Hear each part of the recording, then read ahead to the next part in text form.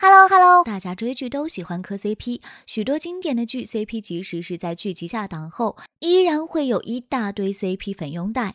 因着这样的 CP 效应炒作，往往能替演员带来热度。比如景甜和张彬彬这对放肆疼你 CP，线下的营销那叫一个甜。然而有些 CP 戏里甜蜜蜜，戏外却闹翻开撕。最经典的代表就是琉璃的程毅和袁冰妍了，而后来凭着《山河令》爆火的张哲瀚也公开切割前同事龚俊，CP 粉都崩溃了。所以今天我们就来盘点一下那些再也回不去的 CP。首先就是琉璃的程毅和袁冰妍。当初大家追琉璃时，柯程毅和袁冰妍这对 CP 都磕疯了。殊不知，在剧集下档后的收官云歌会，竟成为大型拆 CP 修罗场。程毅和袁冰妍在活动上零互动、零交集，程毅几乎全程黑脸，袁冰妍显得被孤立。网友说，程毅想要拆 CP 的行为太明显，让 CP 粉很傻眼，整个活动场面颇为尴尬，让剧迷看完整场活动都立刻出坑了。两人在戏里超级甜蜜啊！剧迷本来想在坑里躺好躺满，但在那场活动后都幻灭了。整个事件发酵蛮严重的，原本圈粉无数的诚意还出现了掉粉的现象，被网友批评小气又不专业。前阵子袁冰妍以祝亲好回归，她和男主角郑业成大方友好的互动，让 CP 粉看得很开心。因此又有网友跑去吐槽诚意，这一件现场拆 CP 事件给剧迷造成的心理阴影实在是太深刻了。香蜜沉沉烬如霜，杨紫和邓伦。香蜜里的旭凤和锦觅，大家磕得多开心啊！这对经典荧幕情侣再也回不去，是因为邓伦被封杀了。不久前，邓伦被爆出逃漏税事件，短短一天时间，他的微博、抖音号就相继被封。接着，优酷、爱奇艺等视频平台将邓伦从多部作品中除名，当中就包括香蜜沉沉烬如霜。当初大家磕得有多开心呐！还有不少 CP 粉跪求两人再合作，如今怕是不太可能了，回不去了。其实，即使邓伦没有被封杀，香蜜沉沉烬如霜，旭凤和紧密的 CP 也很难延续，因为剧集下档之后，两人的粉丝互撕的很惨烈。仅是杨紫在社交网站关注了邓伦，但邓伦并未回关。当时邓伦和杨紫的绯闻还是挺多的，所以粉丝们就不满意了，双方粉丝因此闹出矛盾。似乎是为了解决这一情况，杨紫取关了邓伦。这件事情后，杨紫和邓伦明面上就很少有互动。不过在一次采访。中，邓伦被问到和杨紫的关系，她说自己是她的男闺蜜，打破两人闹翻谣言，也断了 CP 粉继续磕糖的幻想。陆贞传其赵丽颖和陈晓这个组合当年超级轰动，赵丽颖和陈晓因合作陆贞传奇。成为经典荧幕情侣，这部剧大爆也让两人爆红。两人下戏之后的暧昧互动也被谣传在一起，在许多节目和采访中都很甜，给足了 CP 粉无限的想象空间。不过，两人的绯闻始终没有被证实，据说是分分合合了很多次。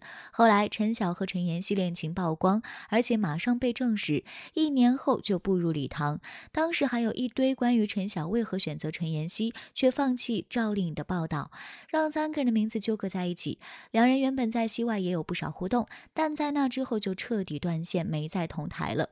而今赵丽颖结婚又离婚了，两个人可能此生都不会再有交集了。最好的我们，刘昊然和谭松韵，大家有看过刘昊然和谭松韵主演的校园剧《最好的我们》吗？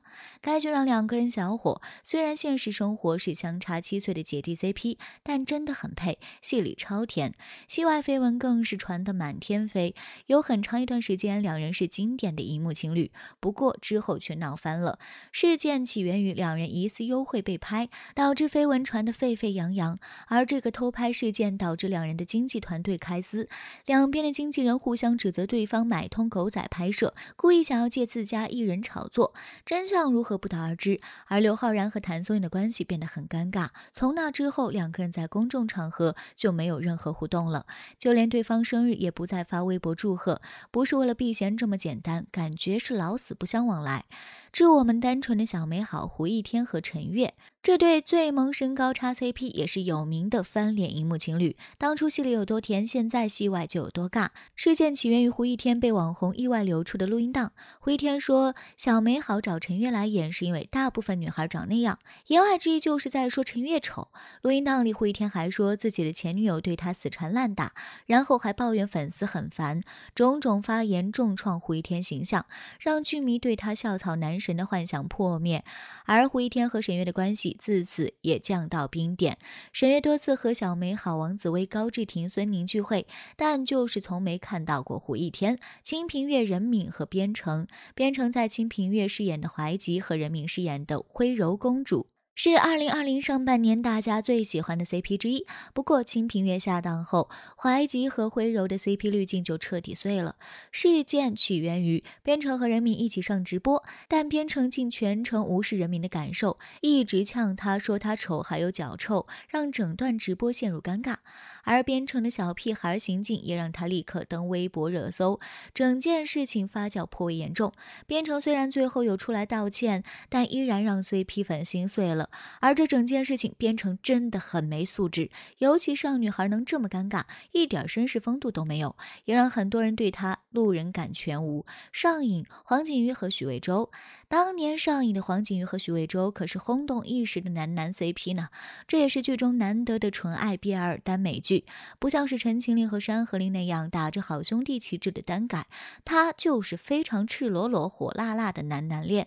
剧中大尺度的吻戏和床戏，让很很多剧迷都磕疯了，黄景瑜和徐魏洲靠着 CP 效应大爆火。剧集下档后，两人 CP 粉依然疯狂。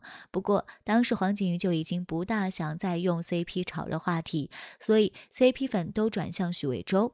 直到徐魏洲直接在微博上呛某位 CP 粉有病去医院，因为这位 CP 粉磕 CP 磕的太 over，一直把剧里带到戏外，把角色上升到演员，就是想磕真人 CP。